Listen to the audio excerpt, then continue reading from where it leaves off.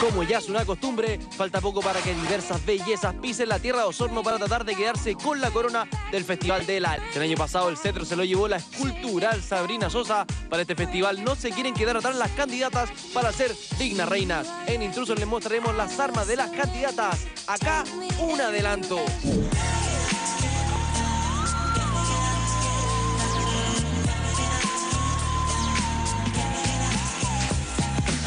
Esperemos que con el adelanto no les haya dado un infarto y puedan terminar de ver la nota de las candidatas. Vamos revisando una a una las bellezas que quieren tomar la corona que deja Sabrina Sosa. Pilar Ruiz. Traída desde la tierra del café, esta preciosa modelo irá a quitar el frío a todos los osorninos con poses como estas.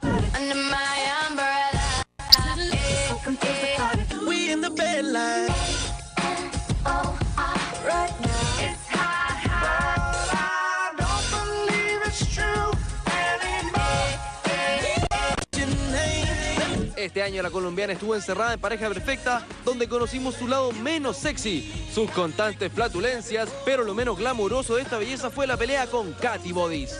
Siento la, la pala con un montón de cosas. Y yo ahí digo, "Ay, ya no puede ser. Suficiente. Me levanto. ¿Quién fue? Yo. Y Te dice Pilar. Pilar. Porque lo hiciste. ¿Qué quise? Y en eso me acerco y de, verdad, sin pensarlo ni nada, le pego una cacheta. Vilma González.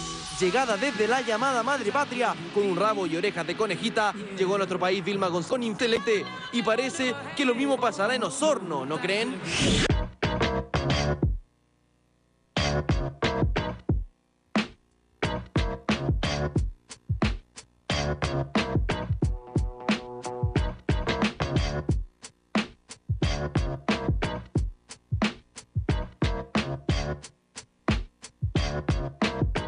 Pero también conocimos su lado B al estar enfrascada en tantas peleas de pirque con su pareja Andrés Longton. Fanny Cuevas. De la vereda pasó a mundos opuestos, de la casona a Jingo y de Jingo al Festival de la Leche y la Carne. Fanny Cuevas ha demostrado en este poco tiempo en televisión que la chica del bar armas para pelearle a la TV. ¿O me equivoco?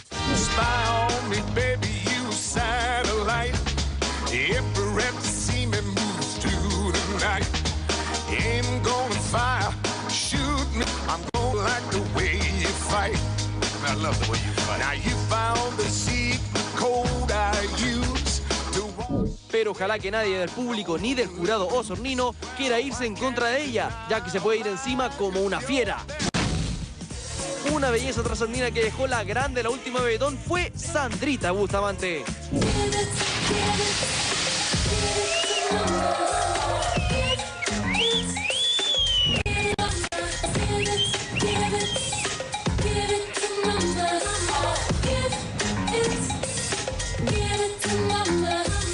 Pero sus movimientos y poquita ropa no fueron lo único que dejaron la grande.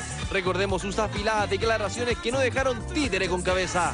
Y donde pillé a la Adriana fue atrás del estudio donde se hace Morandé con compañía. Chile Films, ahí fue, en el camarín de atrás del Kiki. Esa maripi mala onda, esa maripi un poco con un tono, de- con un teco de dejo de arpía, esa es la maripi que yo conozco. Esperemos que para este nuevo Festival de la Leche y la Carne, las malas ondas y peleas las dejen de lado y entreguen lo mejor de ellas para quedarse con la corona.